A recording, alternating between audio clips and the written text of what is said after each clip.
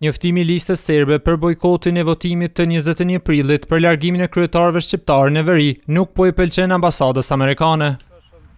Këta të fundit, në një prononcim për Klan Kosovën, thanë se është e rëndësishme që qytetarët e Kosovës të mund të ushtrojnë të drejtën e tyre në përputhje me kornizën ligjore të Kosovës për të larguar zyrtarët e zgjedhur.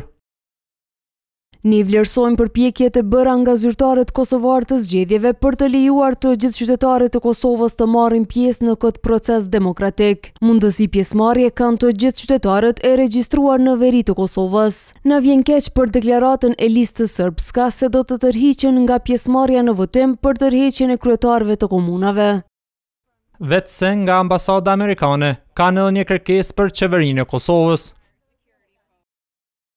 Presim që qeveria e Kosovës të jetë e ndjeshme ndaj shqetësimeve të qytetarëve të saj në veri të Kosovës gjatë gjithë këtij procesi. Shtetet e Bashkuara dhe partnerët tanë do të vazhdojnë ta ndjekin këtë proces nga afër.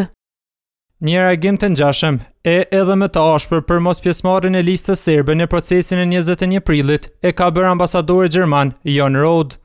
Madje ai për Telegrafin tha se ky subjekt politik për tetëmbëdhjetë muaj ka bërë veçse bojkote dhe dorëheqje.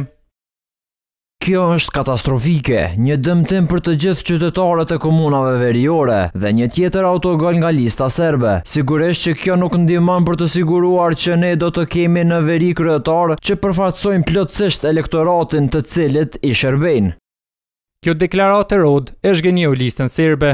Ky subjekt politik bëri shpejt një reagim ku pretendojnë se ambasadori gjerman edhe të tjerët janë të vërbuar nga dashuria për, sipas tyre, regjimin autoritar të Albin Kurtit.